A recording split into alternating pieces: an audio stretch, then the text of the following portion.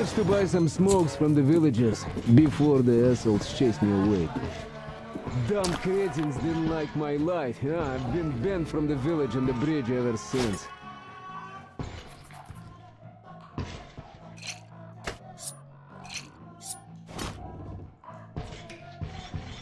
Now, you could take the zipline down, just hook up and away you go. But I guess you shouldn't start a fight with them right away. They are dumb and brainwashed, so they were probably just scared shitless by your arrival. I'll bet they thought Judgment Day had come and right on time, too.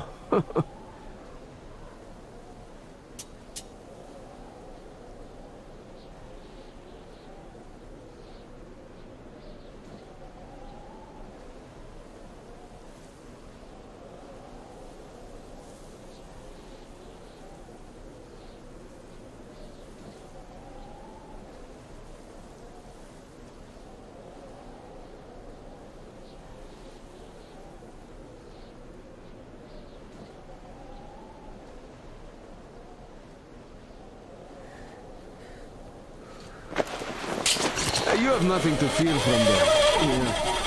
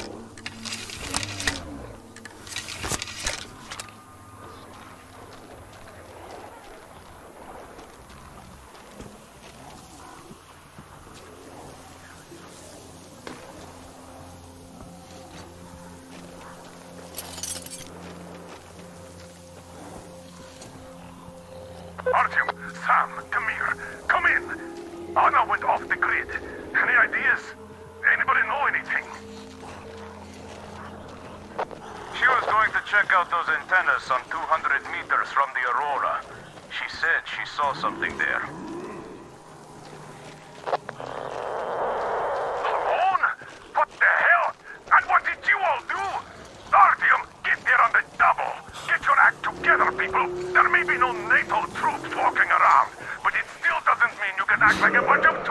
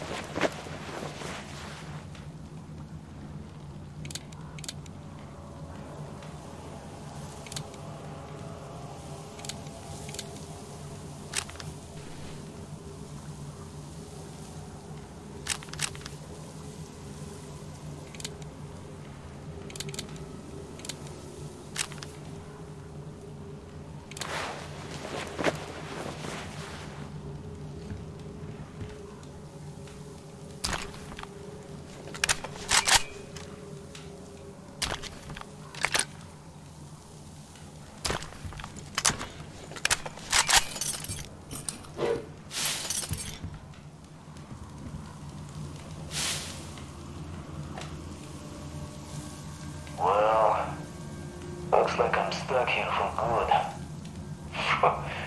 Damn moronic fanatics. Single flashlight got them riled up enough to keep chasing me ever since. Had to make hideouts all over the place. Just quite convenient in its own way. You never know what night is going to get you. Also know the place like the back of my hand now. It sure seems interesting. There used to be a military stockpile of some kind here for one. Didn't go inside though. Looks like there are some chemicals there. And there's this large house across the channel from here. It seems to be long abandoned, so uh, something interesting might still be there. Can't get to it without the boot though. I guess I'll have to do something about it soon. Anyway, life goes on. That's all in the news department for now.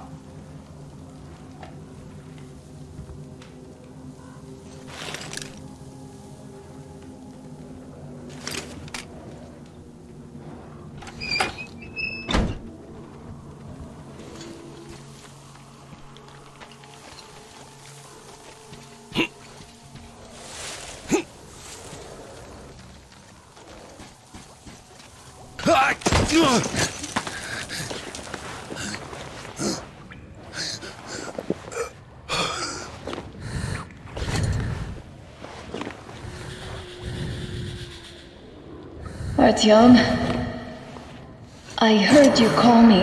It was so great there. but I heard you and couldn't leave you.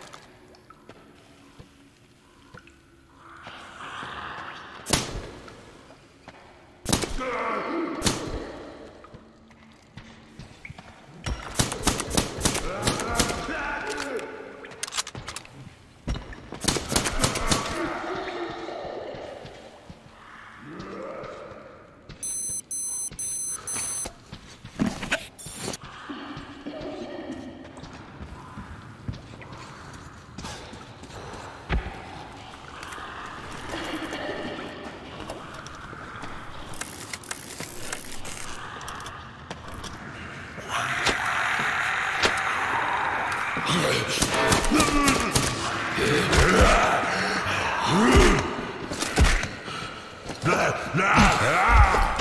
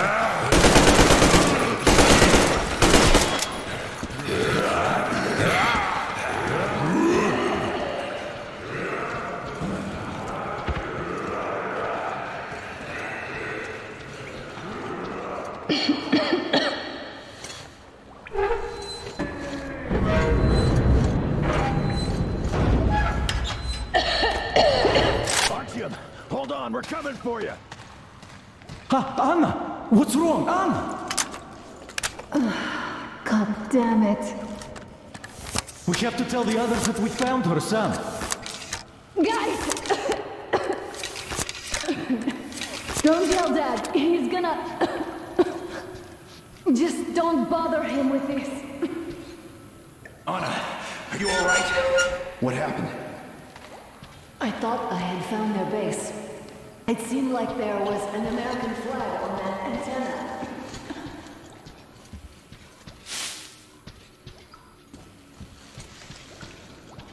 And then I fell down here. It's good Artyom found me.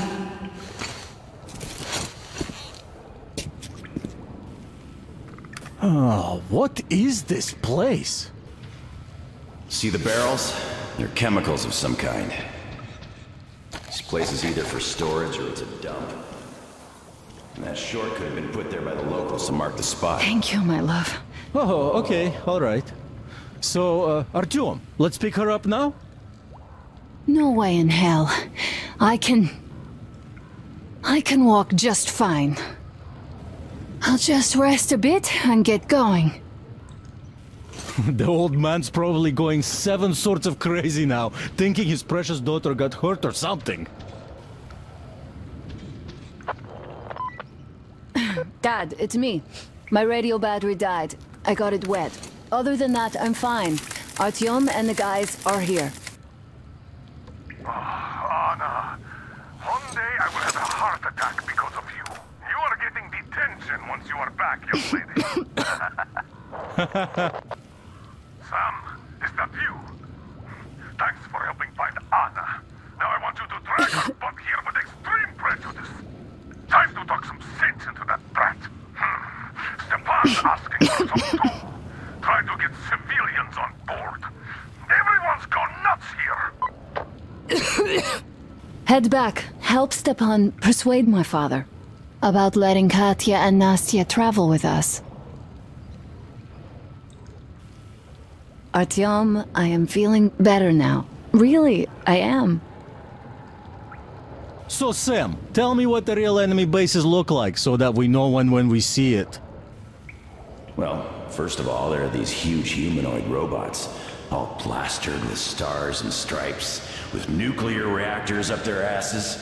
Oh, and the food's great. Burgers, fries, shakes. Nah, I- I'm being serious. what the hell? Okay, well let me be serious too. How the hell am I supposed to know how they look now? I haven't seen one in, what, 20 years or so? A fence, some guard towers, patrols, buildings. Bases look like bases. Nothing like that around here. We have yet to see anything even remotely resembling one. But if we do, I'll be sure to go say hi. If I can still remember how to speak English. Uh, all right, don't be mad. Do you guys really believe you're gonna see any Americans here? I was hesitant at first, but now I think I'm the only American we're ever gonna see out here. Well, that's fine by me, since we can always talk things out with you, Sam.